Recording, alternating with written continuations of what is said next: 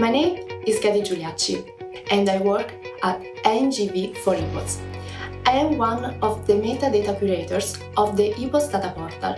I collect and curate metadata describing data and services from the 10 scientific community in the solid Earth domain. Enabling a single access point to resources of several research organizations of a distributed array means facing the challenge of data sources heterogeneity in terms of type, formats, protocols, standards and policies. We addressed this issue in EPOS by adopting a common knowledge representation language. Then, the metadata collection process allows us to create a shared information space and enable semantic interoperability.